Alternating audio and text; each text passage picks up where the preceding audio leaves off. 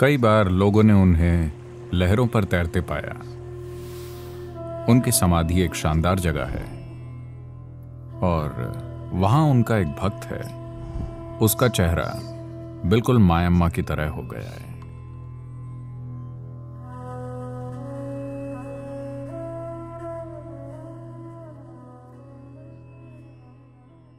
मायामा के बारे में असल में कोई नहीं जानता कि वो कहाँ से आई थी।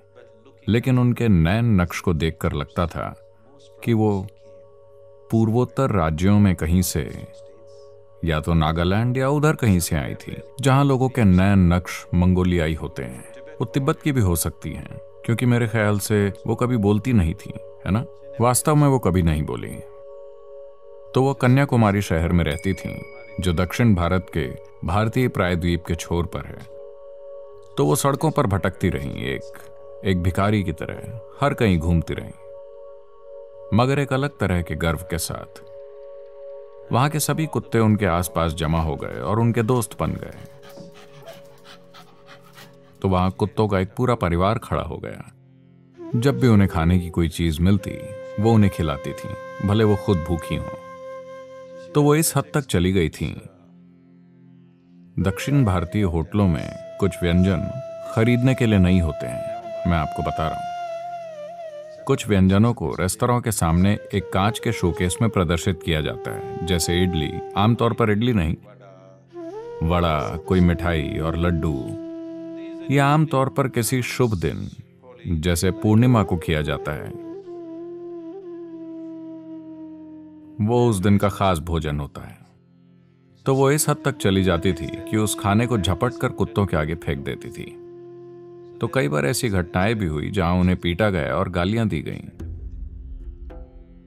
तो समाज उनसे कठोर व्यवहार कर रहा था, क्योंकि उन्हें बस एक गैर जिम्मेदार चोर की तरह देखा गया।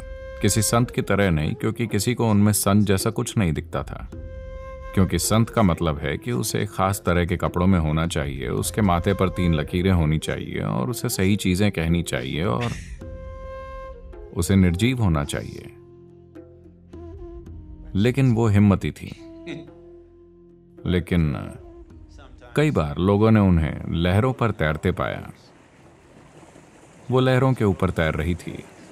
इस बात ने लोगों को हैरान कर दिया और वो उन्हें थोड़े सम्मान से देखने लगे। बाद में, कोई व्यक्ति जो उनसे जुड़ा था, वृद्ध होने पर उन्हें सेलम नाम की जगह पर ले आया और वो अपने देहांत तक वहीं रही, वहीं अपना शरीर छोड़ा। उनकी समाधि एक शानदार जगह है। शानदार मतलब वैसे नहीं वो बस सीमेंट से बनी एक छोटी सी चीज़ है एक छोटा सा घर मगर वो वाकई बहुत बहुत बहुत शक्तिशाली है। तो मैं एक छोटे से हिल स्टेशन पर था जो इस जगह के करीब है। And uh, th-. और वो पूर्णिमा का दिन था। तो कोई मायम्मा उनके समाधि की बात कर रहा था, और मैंने कई लोगों से उनके बारे में कई बातें सुनी। तो हमने सोचा कि हम कार से वहाँ चलते हैं, क्योंकि ये पूर्णिमा की शाम है, चलकर देखते हैं। किसी ने आकर बताया कि वहाँ पूर्णिमा की शाम को कुछ खास होता है। तो जब मैं शाम को पाँच, साढ़े पाँच बजे के करीब पहुँचा तो वहाँ कोई नहीं था। तो हम अंदर चले गए और एक छोटे से कमरे में बैठे, सिर्फ़ दस बाय दस का एक कमरा, जिसमें उनकी एक बड़ी तस्वीर थी। उनके चेहरे पर ज़्यादातर तिब्बती महिलाओं की तरह काफ़ी झुर्रियाँ हैं, लगभग उसी तरह का चेहरा।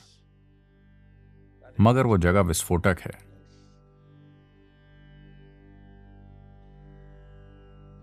और वहाँ एक उनका भक्त है। यह आदमी उस समय करीब पचास साल का रहा होगा। उसका चेहरा बिल्कुल मायम्मा की तरह हो गया है। यह आदमी तमिलनाडु का है। उसके नाक, नक्श, तिब्बती या नेपाली या नागालैंड के लोगों जैसे नहीं हो सकते। वो एक तमिल आदमी है, लेकिन उसका चेहरा लगभग उनके जैसा ही है।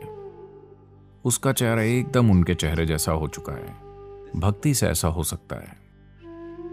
भक्ति हमेशा सबसे तेज मार्ग है, क्योंकि जब आप किसी के प्रति अटूट भावना पैदा करते हैं तो आपके अंदर हर चीज़ एक दिशा में केंद्रित हो जाती है। बस आपकी भावना नहीं आपका मन भी पूरी तरह उस पर चला जाता है। आपका भौतिक शरीर भी उसकी ओर मुड़ जाता है। आपकी ऊर्जा भी उसकी ओर मुड़ जाती है। और इसने उसके चेहरे को बिल्कुल उनके चेहरे में बदल दिया।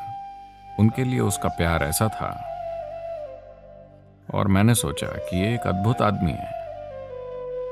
भक्ति का मतलब बस यही है। ये एक दिशा में केंद्रित चेतनता है। ये यहाँ वहाँ नहीं डोलती। बस एक दिशा में जाती है। इस जीव के अंदर जो कुछ है जब उसे एक दिशा में डाल दिया जाता है तो चीज़ें यूँ होंगी कि आपने सोचा भी नहीं होगा कि ऐसा हो सकता है। मैं चाहता हूँ कि आप मुड़कर देखें। भारत के आध्यात्मिक इतिहास को आप भक्तों को अद्भुत चीज़ें करते पाएँगे। उनके आसपास होने वाली घटनाएँ इतनी चमत्कारी थीं कि किसी को विश्वास नहीं होता था। उनके पास ज्ञान नहीं था। उनके पास कोई दूसरा मंत्र तंत्र नहीं था। एकमात्र चीज़ थी, एक ही दिशा में केंद्रित भक्ति, बस। जो चीज़ें उनके अंदर और उनके आसपास हुईं, वो कुछ ज़्यादा ही चमत्कारी थीं। उनके आसपास अद्भुत चीज़ें हुईं, और लाखों लोग सिर्फ़ उनकी मौजूदगी से ही अभिभूत हो जाते थे। उनके पास सिर्फ़ एक ही दिशा में केंद्रित भक्ति थी, बस।